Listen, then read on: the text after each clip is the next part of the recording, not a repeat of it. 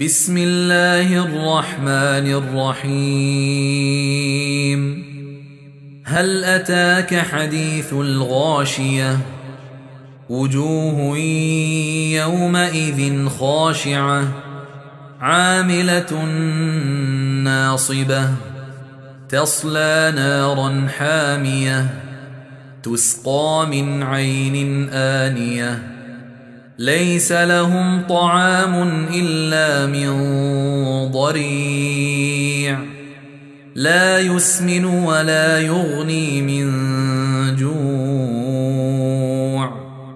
وجوه يومئذ ناعمة لسعيها راضية في جنة عالية.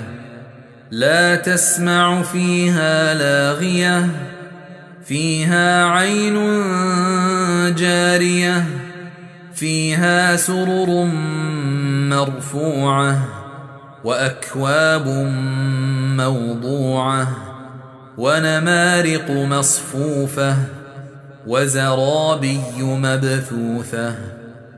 أفلا ينظرون إلى الإبل كيف خلقت وإلى السماء كيف رفعت وإلى الجبال كيف نصبت وإلى الأرض كيف سطحت فذكر إنما أنت مذكر لست عليهم بمسيطر إلا من تولى وكفر فيعذبه الله العذاب الأكبر.